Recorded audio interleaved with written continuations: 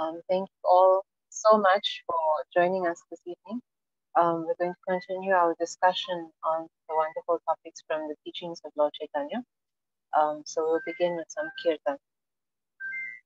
Nama Om Vishnu Padaya Krishna Srimate Bhakti Vedanta Swami Nityanand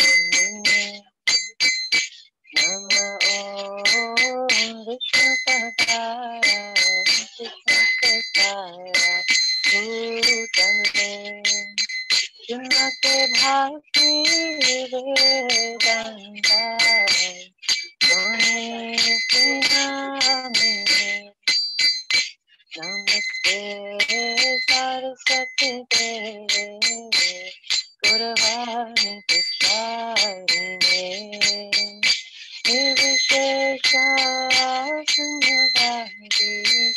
वस्तुचारशकारिणे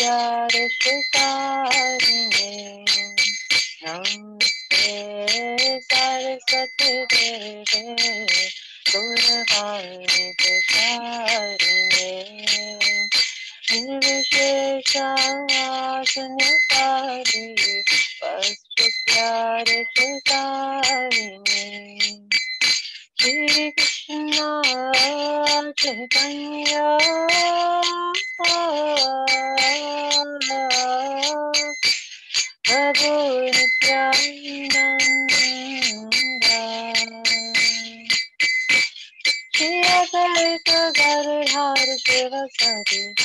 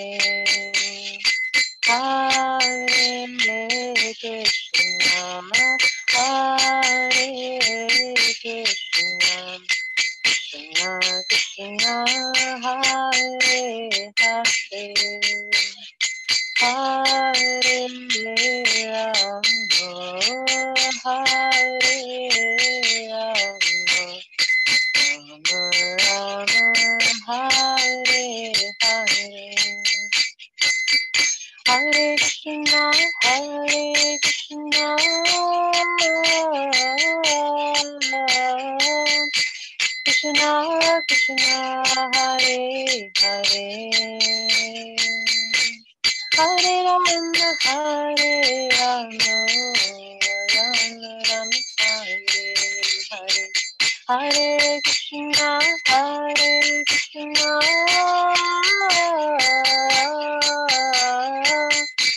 Krishna Krishna Hare Hare Hare Rama Hare Rama Rama Rama Hare Hare Hare Krishna.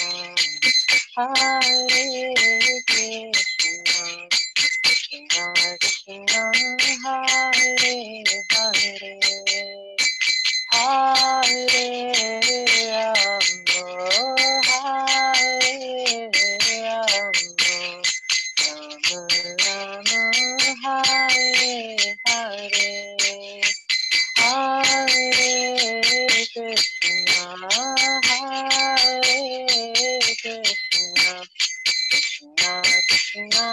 Hare Hare.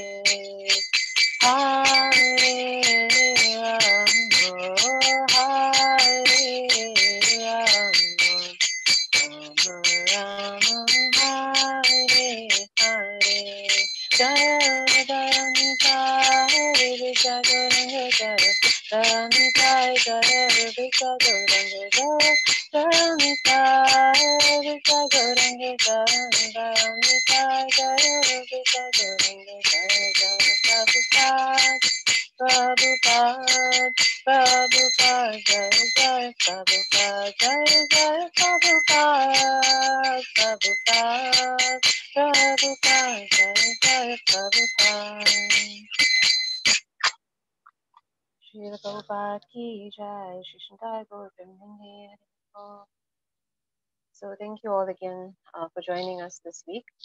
Um, we'll start with some prayers.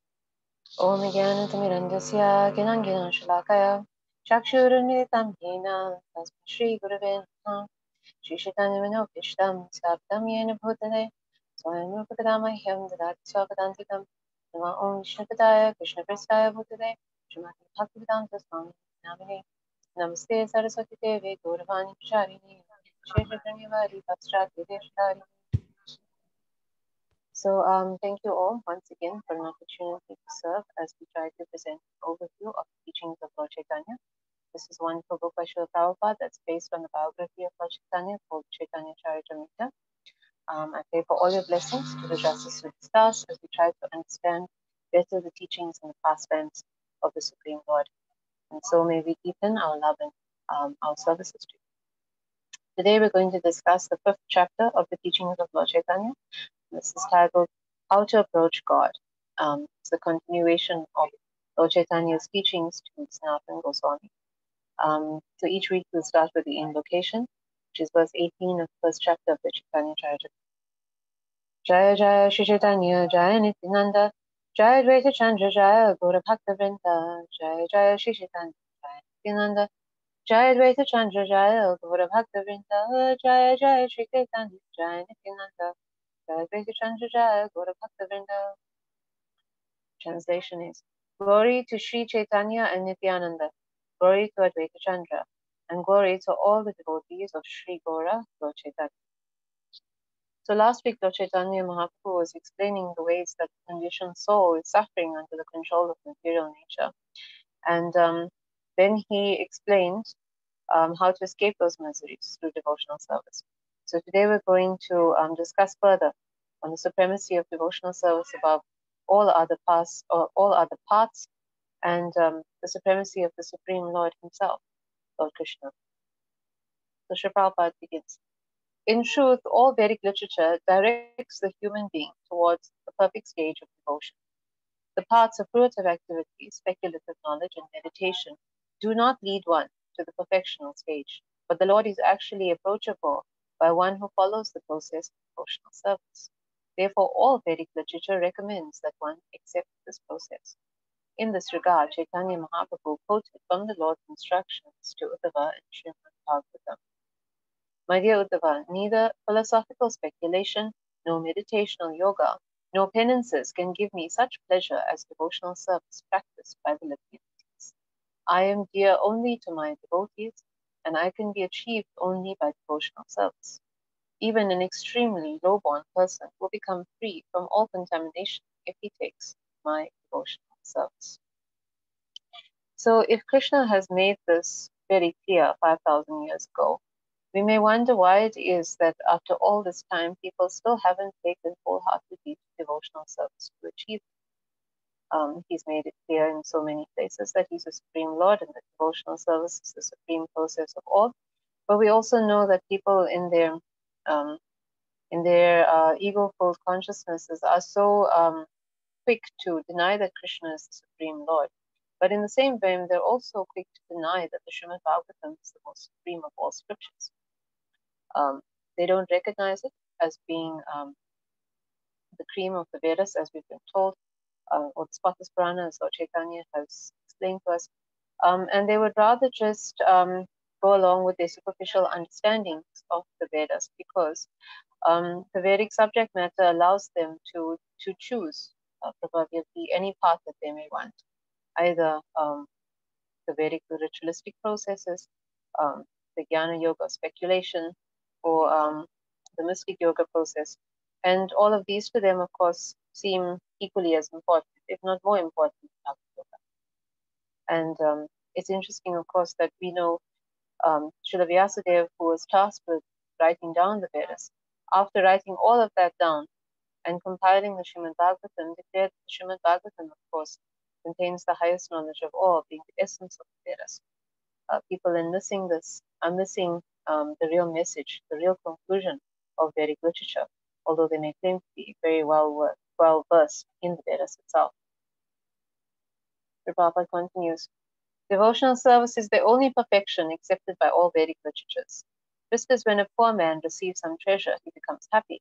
When one attains to devotional service, his material pains are automatically vanished. As one advances in devotional service, he attains love of Godhead, and as he advances in his love, he becomes free from all material bondage. One should not think, however, that the disappearance of poverty and the liberation from bondage are the goals of devotional service.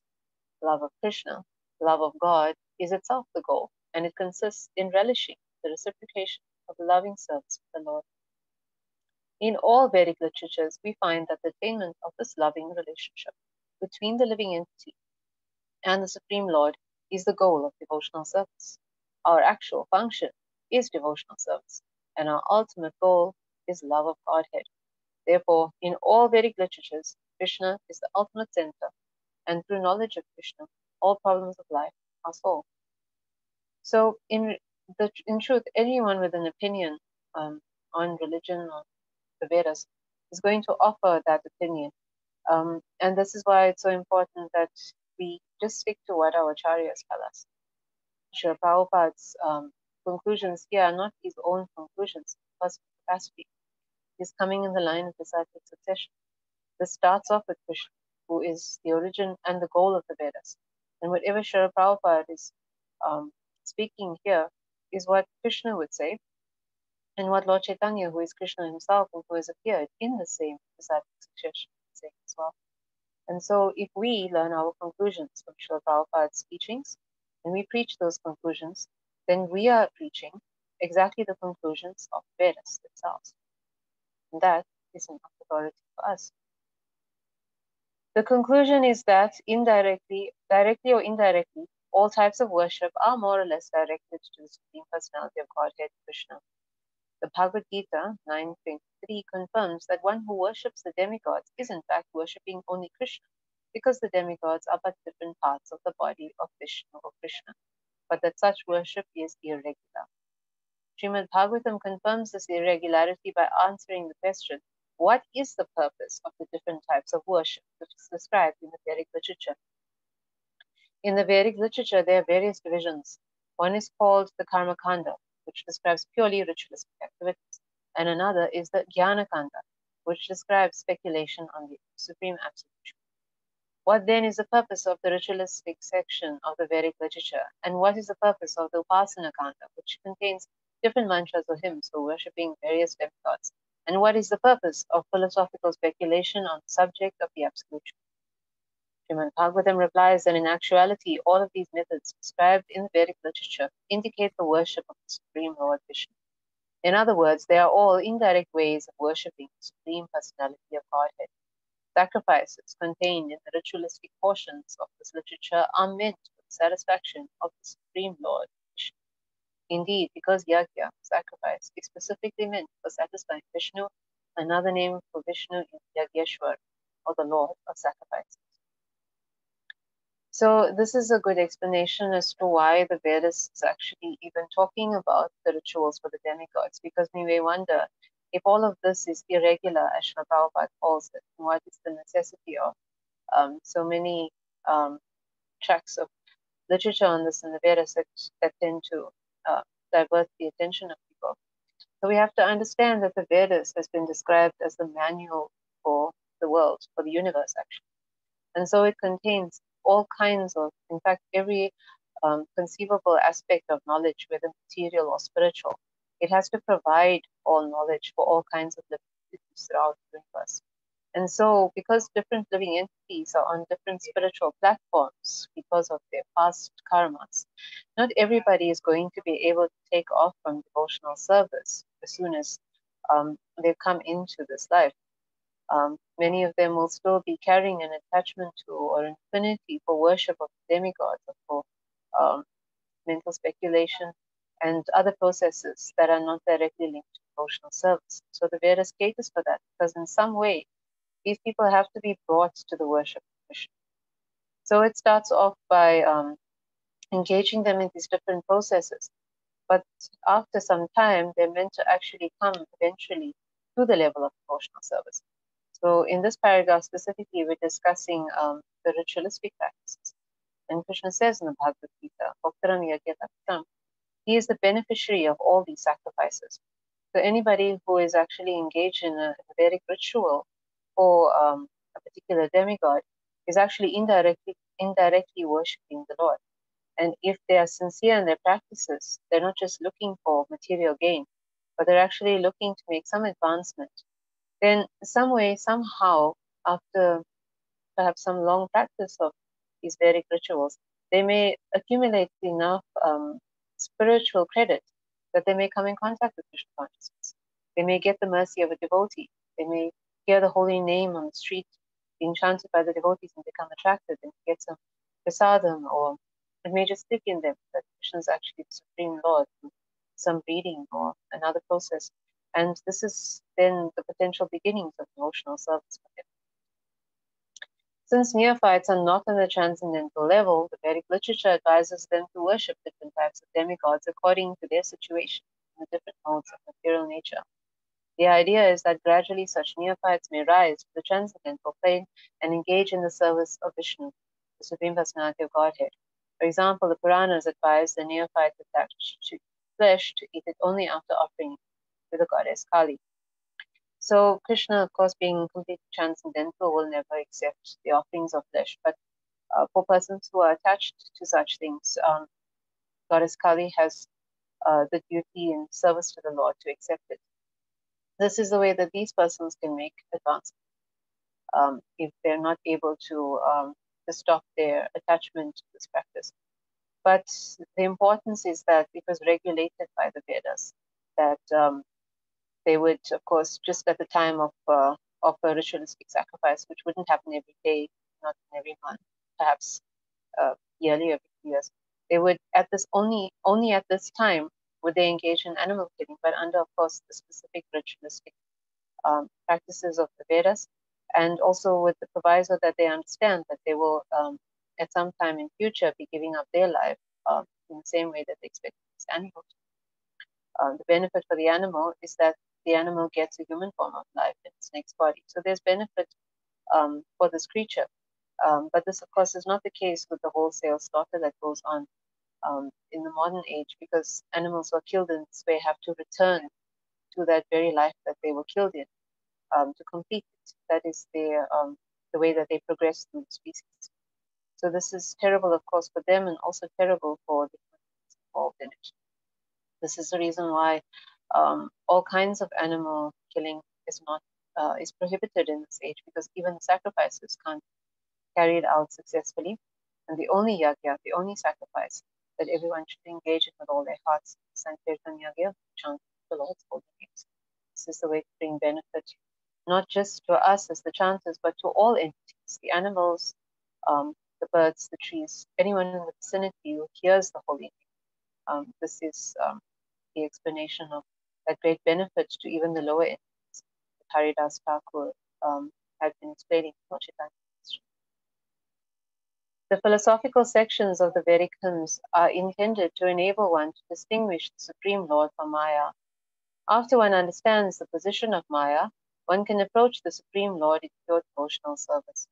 That is the actual purpose of philosophical speculation, and Krishna confirms this in Bhagavad Gita, verse, um, chapter 7, verse 19.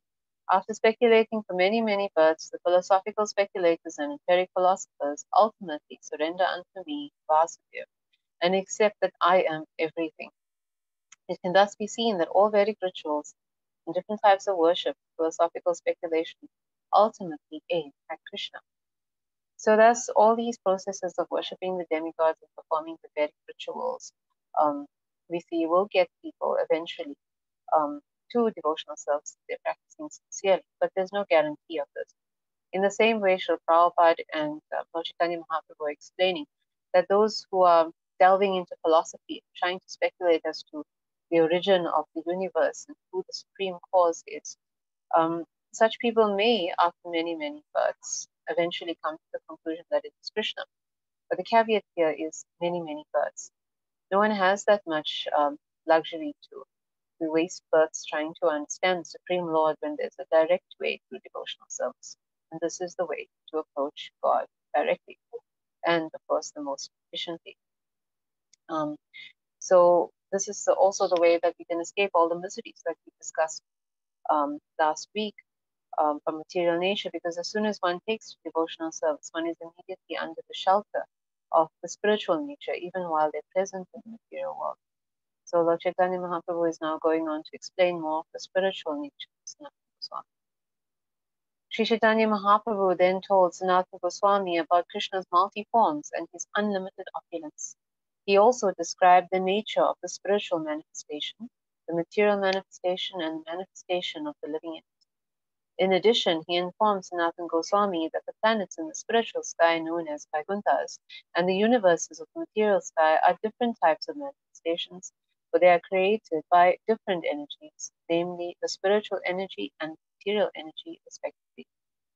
As far as Krishna himself is concerned, he is directly situated in his spiritual energy, or specifically in his internal potency. So this is again how we approach Krishna through his spiritual potency. Um, this is the only way that Krishna is ever situated.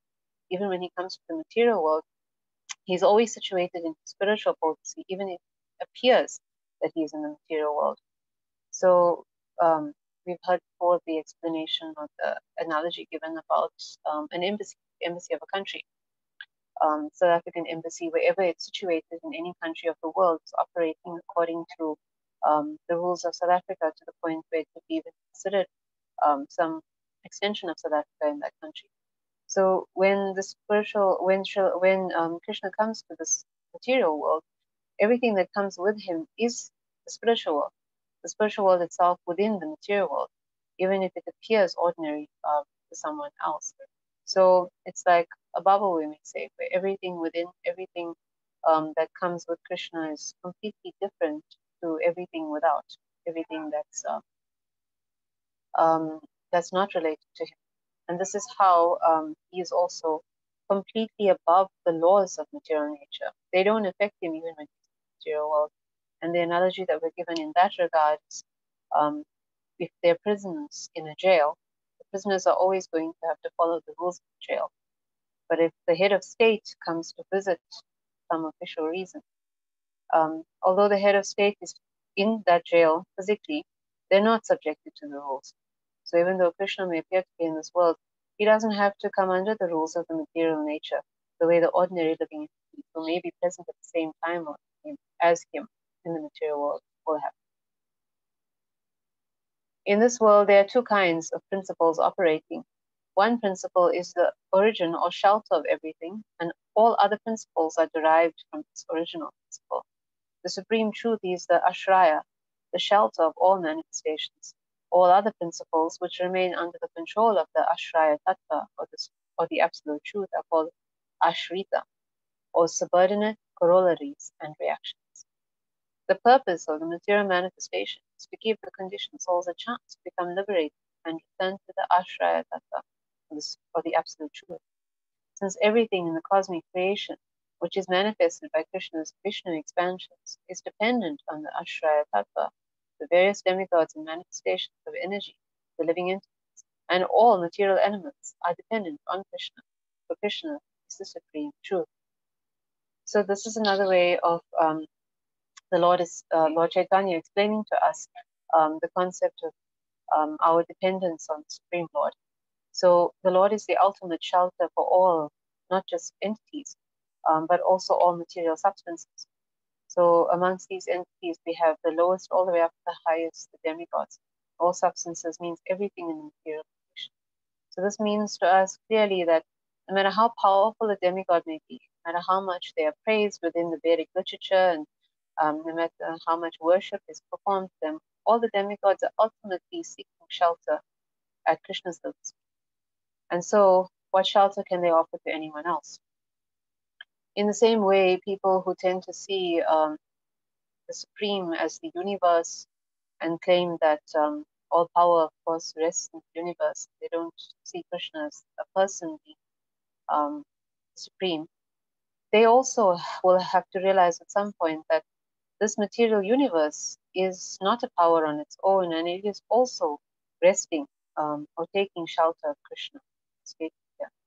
So, if the great personalities like the demigods and this great material creation are all fully dependent on and resting Krishna, what to speak of all these mundane personalities that people take shelter of, great leaders or um, even modern pop stars or social media personalities. Nobody can offer us shelter in any way from anything. Not giving us shelter from the material miseries, um, not giving us relief, and not giving us any kind of spiritual um, mercy or direction without Krishna. Lord Chaitanya then asked Sanatan Goswami to listen attentively as he described the different features of Krishna. First, the Lord informed him that Krishna, the son of Nanda, Nanda Maharaj, is the absolute supreme truth, the cause of all causes and the origin of all emanations and incarnations. Yet in Vraja or Goloka Vrindavan, he is just like a young boy.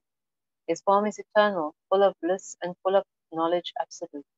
He is both the shelter of everything and the proprietor as well. So the reason why people like to take shelter of this great universe or the great demigods or some great personality in this world is that they have some kind of stereotype of what a great person may seem like. And somehow this beautiful youngster with the flute from Vrindavan doesn't strike them as the Supreme Lord. He doesn't have the archetype of what they consider um, God might be. They project they project their experiences in the material world, which tends to see um, uh, God if he is uh, imagined as a person as somebody older, somebody very stern, somebody um, throwing thunderbolts around and exerting their power and influence. Um, they want, it seems, to be um, they they want a, a character or a personality that is suitably controlling, demonstrating um, power and perhaps creating fear in others. Um, this is a way that they feel that um, the worship, their worship, will also gain them power, basically wanting to see displays of power from the Supreme Lord. And they may wonder what benefit they could get from accepting as um, Supreme, this beautiful young flute player. And yet, when we think about it, the whole world is chasing this um, ideal of youth and beauty and pleasure and happiness. So, if anyone had the choice to be God, wouldn't they want to be a beautiful young person enjoying happiness and pleasure in glorious eternal dance. This is what Krishna is. This is him actually personifying this ideal that is deep within everybody, which people don't actually realize.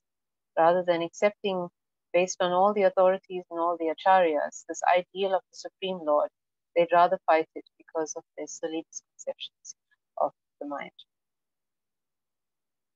In this connection, Lord Chaitanya gave evidence in Brahmasamhita. It's a very famous verse. Um, Ishvara Parama Krishna Sachidananda Vigraha Anadir Adir Govinda Sarvakarana Karanam. Krishna is the Supreme Personality of Godhead with a body full of knowledge, eternality, and bliss. He has no origin. He is the original person known as Govinda, and is the cause of all causes. In this way, Chaitanya Mahaprabhu gave evidence that Krishna is the original personality of Godhead, full in all six opulences. His abode, known as Goloka Vrindavan, is the highest planet in the spiritual sky. So we know that Lord Chaitanya Mahaprabhu is the Supreme Lord himself. So he's teaching Sanatana Goswami, his word alone is enough. But because he's taking the role of an acharya in our line, he is citing other authorities to um, back up his statements. And here he is citing Lord Brahma. So Lord Brahma is significant because he is considered by um, those who follow the Vedas as being an authority on the Vedas since um, he first received it from the Lord and um, then perpetuated it to his disciples. And also, um, he is considered to be practically equal to Lord Vishnu in his role as the creator. And um, and here, this authority, um, universally accepted authority, is stating that Krishna is the supreme personality of Godhead, stating it quite unequivocally. He is saying that Krishna is the ultimate origin of all. Um, this means that he's the supreme creator of all, since everyone is coming from him, which then, of course, directly challenges the notion that Brahma is the creator. And he is stating that Krishna is the original person. Um, he causes everything and everything to exist, and he has no other cause. Now, when Krishna says that in the Bhagavad Gita, Asamurdva, um, no one is greater or equal to him, then people want to challenge that, to say that Krishna is actually referring to the unborn within him. But here, when Lord Brahma is taking it, nobody can deny it, of course, being a Vedic authority. And when he is speaking of Krishna, he doesn't indirectly reference him in a way that could be taken as unborn him. He's stating clearly Govinda, and there's no other Govinda besides our Krishna. He's stating Govinda, the personality of Godhead, not an unborn, not an effulgence, not even super soul but personality Govinda, the personality Krishna. And this person, no one can challenge the authority of Brahma in claiming that this person is the Supreme Personality of Godhead. Even, of course, when um, the Gaudiya um, Vaishnav Acharyas may mention it, um, they get um, um, attacked back with the fact that, as we said earlier, the Srimad Bhagavatam and other devotional literatures are not considered as Vedic but here we have this unequivocally stated by a Vedic authority. So, Chaitanya continues to go even further in establishing the supremacy of the Lord. Already he has made it clear that the Lord is above all the living entities, um, above all the demigods, not just um, the regular rank and file demigods, but even above Lord Brahma, is considered the creator, and of course the other great demigods like Lord Shiva. But now the Lord Lord Chaitanya is going even further to explain how Krishna is above um, even his own incarnations and expansions. And he quotes another famous verse from Srimad Bhagavatam, Canto 1, Chapter 3, text 28. Ete chansha kalaha pumsa Krishnastu bhagavan svayam indrari vyakulam lokam hridayanti yuge yuge all the incarnations described previously are either direct expansions of Krishna or indirectly expansions of the expansions of Krishna. But Krishna is the original personality of Godhead. He appears on earth, in this universe, or any other universe when there is disturbance created by the demons who are always trying to disrupt the administration of the demigods. So we have been taught that this is the Paribhasa Sutra of the Srimad Bhagavatam. So what it means is that um, there would be one verse um, in a holy book that would have the essence of that book um, in that contained just in that verse, and this is the Paribhasa of Bhagavatam. And so it contains that essential philosophy that Krishna is the supreme personality of Godhead, that um, all his forms, um, him and all his forms, are delivering the devotees, those that have taken shelter of him through devotional service, uh, thus protected by his spiritual energy. And he is, um, through his various agents, destroying the demons who are suffering in this material creation because of not surrendering to Krishna. The essential philosophy of Krishna consciousness. So, um, the other important point for our discussion today is that um, all the incarnations and expansions of Krishna, although um, so greatly powerful and course all the Supreme Lord, are all still originating from Krishna, and he is still supreme and above all of them.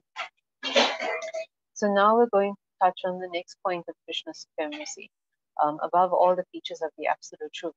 We've discussed previously that Krishna, that there are three um, features um, to the absolute truth. That is um, the effulgence of the absolute truth, which is impersonal Brahman. We have the localized aspect of the absolute truth, um, the super soul, the Paramatma, in the hearts of every living entity, Shakti, and all the atoms of the universe. And then we have the Bhagavan, the actual personality of the Supreme, um, the Supreme Personality of Godhead Krishna. And of course, of all these three forms, um, the conclusion is that Bhagavan is the highest.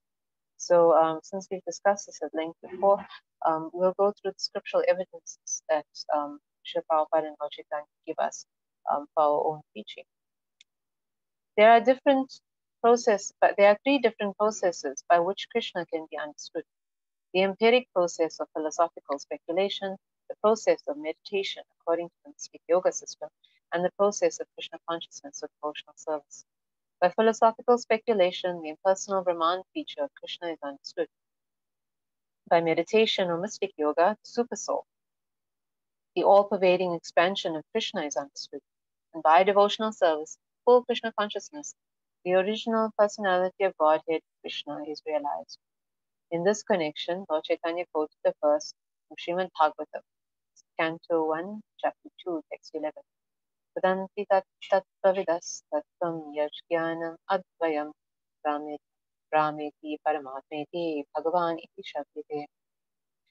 who are knowers of the Absolute Truth describe the Absolute Truth in three features the impersonal Brahman, the localized, all pervading Supersoul, and the Supreme Personality of Godhead Krishna.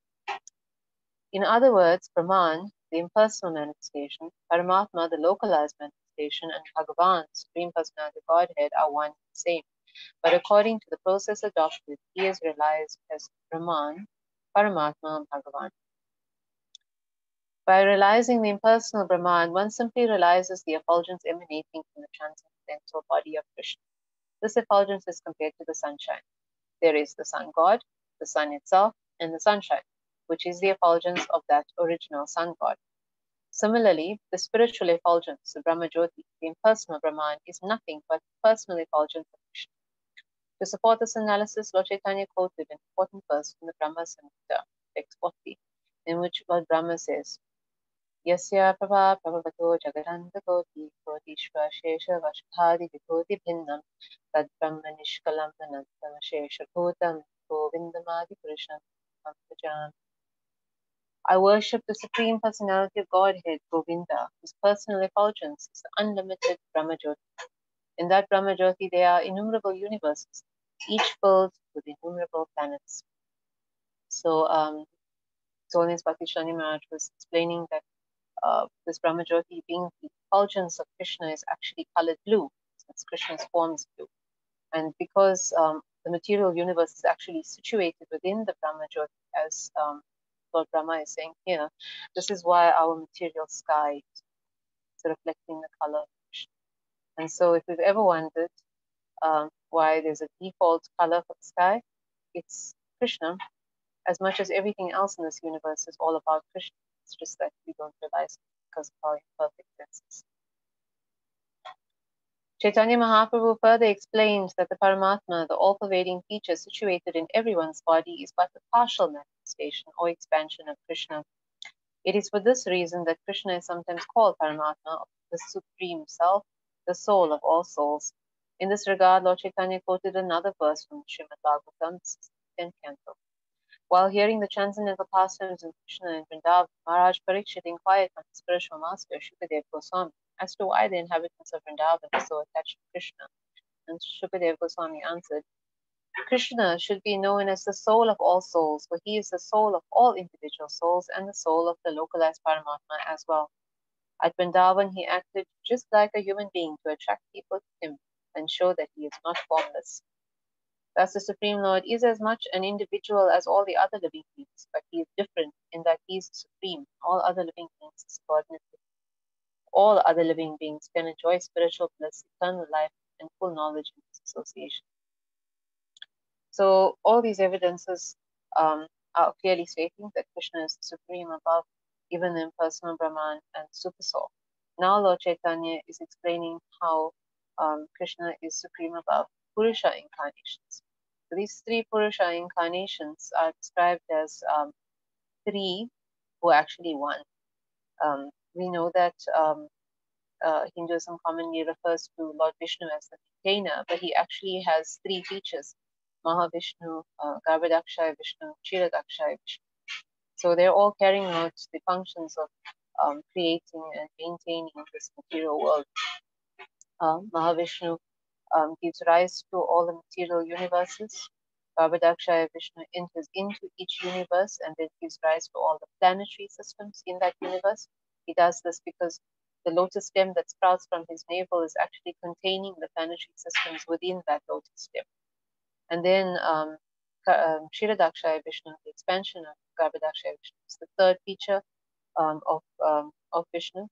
And he then enters into all these planetary systems, into each um, living entity's um, material body, and of course into the atoms of everything to maintain it all. So um, we continue. Lord Chaitanya, next Lord Chaitanya quotes the verse in the Bhagavad Gita, chapter 10, text 42, in which Krishna, while telling Arjuna of his different opulences, indicates that he himself enters this universe by one of his plenary portions, Garbhodakshaya Vishnu, and that and also enters into each universe as Kshiradakshaya Vishnu and then expands himself as a super soul in everyone's heart. So that verse that Lord Chaitanya is quoting But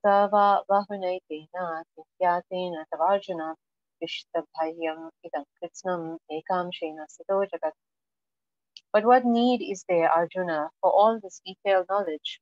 With a single fragment of myself, I pervade and support this entire universe. So Krishna is referring to these great and powerful Purusha incarnations as fragments of himself. Um, and they are, of course, Garbhodakshaya Vishnu, Kshiradakshaya Vishnu. Um, so this entire universe is resting on Garbhodakshaya Vishnu. We can't even conceive of what the size of this universe is, what to speak of the great power of Garbhodakshaya Vishnu, who is actually giving rise to this entire universe from this lotus stem, from his navel. Similarly, we have no conception of how um, Kshiradakshaya Vishnu can actually be entering into every atom, every person in creation and maintaining everything. Yet, despite these extraordinary great powers from these personalities, they are fragments, portions of portions of Krishna. So we can't even imagine what the supremacy is. Lord Chaitanya then said that if anyone wants to understand supreme absolute truth in perfection, he must take to the process of devotional service for Krishna consciousness. Then it will be possible for him to understand the last word of the absolute truth. So this Krishna, this extraordinary, wonderful Krishna, whose appearances on Friday may seem like a sweet young flute player in Srivrindavan but there is no one above him, not the most powerful living entities in this material world, all the way up to the demigods, not even his own um, spiritual forms, um, his incarnations, his expansions, the Purushas. Krishna is most supreme above all of them and he has given us the most supreme process to approach even though he's so great and so extraordinary that his glories are inconceivable to all of us. We have this process of devotional service, which is the way to approach. And it's made so simple by um, our beloved Srila Prabhupada. Appearance day is also the Saturday for us to honor. And um, we would be so foolish to not take to these opportunities, um, not only to free ourselves from this material world, but to gain direct association, because Srimad Bhagavatam states it's only through this devotional service that we can attain the direct and personal association of this greatest, most extraordinary, most wonderful of all personalities in every creation, both material and spiritual, our beloved Lord Krishna. Thank you all so much for your kind attention. Shri Shri Prabhupada. Um, are there any questions?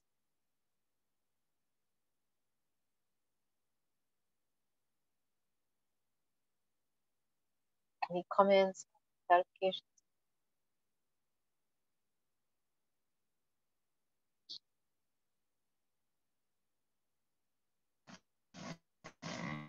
Marci, thank you for that lovely class. Thank you. Marci. Uh, Bhaktan Shalina Mataji. Mataji, is uh, your questions answered about the topic? I know you said the topic was very interesting, Mataji. Uh, yes, it was. Uh, thank you, Gaura Premi Mataji. Um, I think if there's anything that I've learned, uh, you know, it's that uh, we as uh, Kali Yuga specimens, uh, has made it pretty simple. All we need to do is chant, no rituals. He doesn't expect anything from us, just chant the holy name. So thank you for that class. Thank you so much for the service. Um, I'd say though that I've also been having a realization recently that um, chanting in the association of devotees, so taking the association of devotees to improve and increase and uh, and uh, and go deeper into our chanting. It's through the association of devotees and by serving them that uh, that's the actual key to getting um, into the essence of the holy name, and that's how we can make uh, the fastest progress to to chanting holy name purely. It's very difficult otherwise. Yes, thank you so much. Hare Krishna. You're actually part of that good association as well.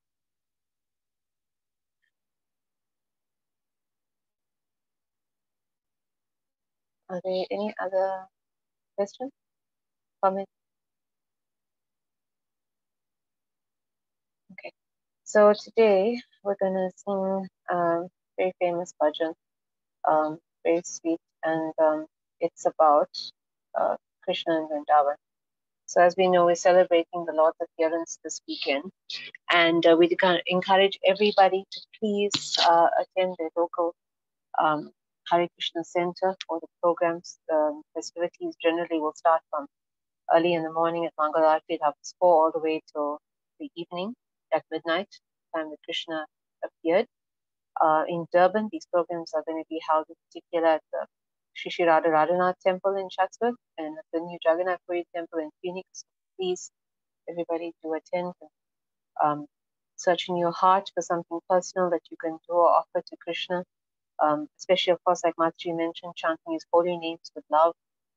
Um, and then on Saturday is the appearance day of our beloved Srila Prabhupada, who brought Krishna, Lord Chaitanya, and this devotional service to us. And um, the, the festivities for Srila Prabhupada's appearance day are also going to be um, observed from the early morning from Mangal Arati on Saturday till about midday, where uh, the big feast in his honor will be served. So once again, please attend these programs and uh, you know, for your heart to show Prabhupada in gratitude.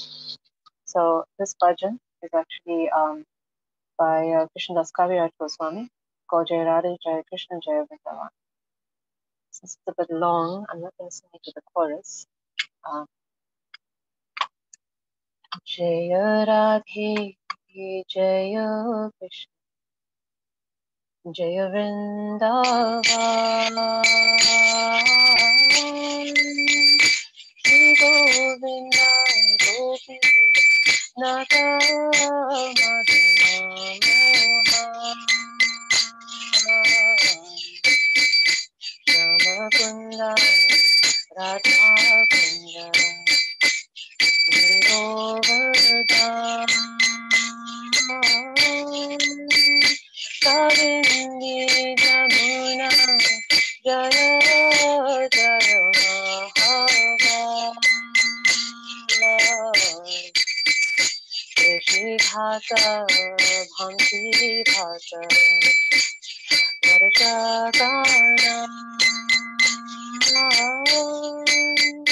Yah Sabadila Koro Chinandananda Jaya Shoda Jaya Jaya Gopala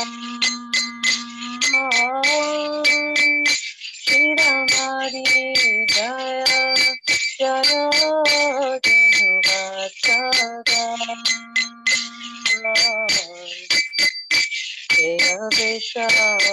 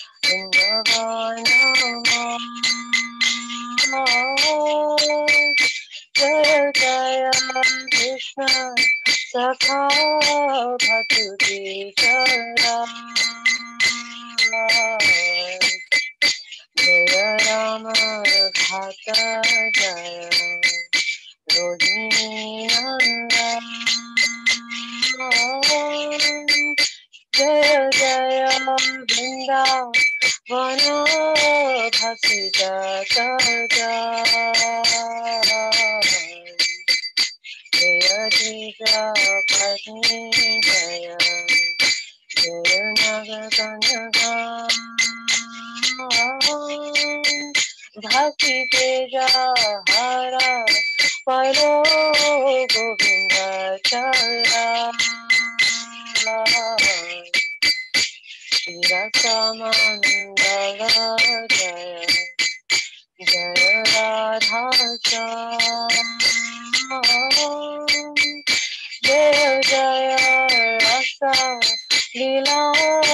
干什么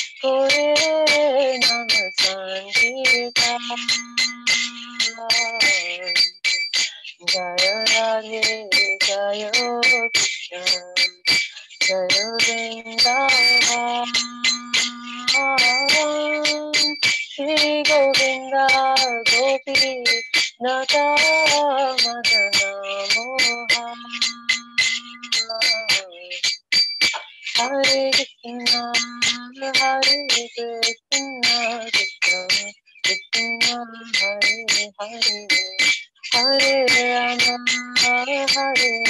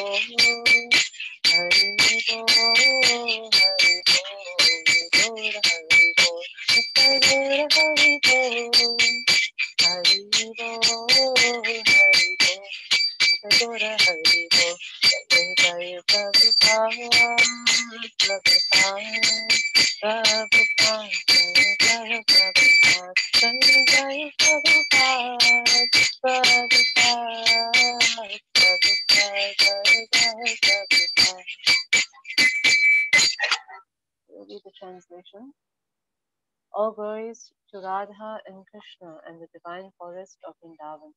All glories to the three presiding deities of Vrindavan, Sri Govinda, Gopinath, and Madan Mohan. All glories to Shyamakund, Radhakund, Govardhan Hill, and the Yamuna River, Kalindi. All glories to the great forest known as Mahavan, where Krishna and Balaram displayed all of their childhood pastimes. All glories to Keshi Ghat, where Krishna killed the Keshi demon. All glories to the Vamsivat tree, where Krishna instructed all the gopis to come by playing his flute. Glories to all of the twelve forests of Vraja. At these places, the son of Nanda, Sri Krishna, performed all of his pastimes. All glories to Krishna's divine father and mother, Nanda and Yashoda. All glories to the cowherd boys headed by Sridham, the older brother of Srimati Radharani and Nanga Mandari. All glories to the cows calves of Vraja. All glories to Radha's divine father and mother, Vrishabhanu and beautiful Kirtida. All glories to Purnamasi, the mother of Sandipani Muni, grandmother of Madhumangal and Nandagopi, and beloved disciple of Devarshina. All glories to the young cowherd maidens of Vraja. All glories, all glories to Gopishwar Shiva, who resides in Vrindavan in order to protect the holy Dham. All glories, all glories to Krishna's funny Brahmin friend, Madhumangal. All glories to Ramaghat, where Lord Balaram performed his last dance. All glories to Lord Balaram, son of All glories, all glories to all of the residents of the love. All glories to the wives of the proud Vedic Brahmins. All glories to the wives of the Kalyasa. Through pure devotion, they all obtained the lotus feet of Lord Govinda. All glories to the place where the rasa dance of Sri Krishna was performed. All glories to Radha and Shyam. All glories, all glories to the divine rasa dance, which is the most beautiful of all of Krishna's pastimes. All glories, all glories to the mellow of conjugal love, which is the most excellent of all rasas, and is propagated in Vraja by Sri Krishna in the form of the divine Parakiya Bhava, Paramola. Remembering the lotus feet of Lord Nityananda's consort, Sri Jahnava-Devi, this very fallen and lowly servant of Krishna sings the Sankirtan Bodhi. Shri Shri Radha Ki Jai, Shri Jai Gaur Hari Jai, Shri Prabhupada Jai, Shri Jai Gaur